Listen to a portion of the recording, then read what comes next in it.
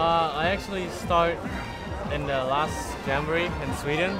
So I started with some some like cheap badges and some contingent badges. So at first I didn't know it was such a big thing.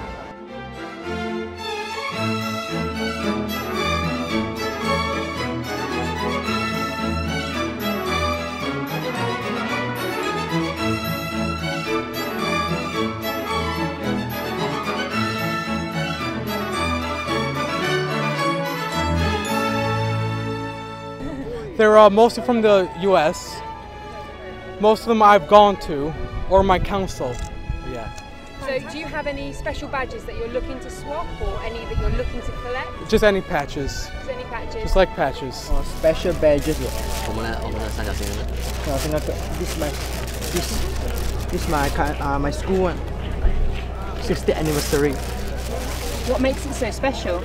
Uh, because my school celebration now, today. Yeah. Today? Yeah. And what they celebrating? Uh, 60th anniversary. 60th anniversary of being open? Yeah. Wow. And how many of these were made? Uh, 2000. Uh, almost 50. Yeah, 50? Wow, so very rare.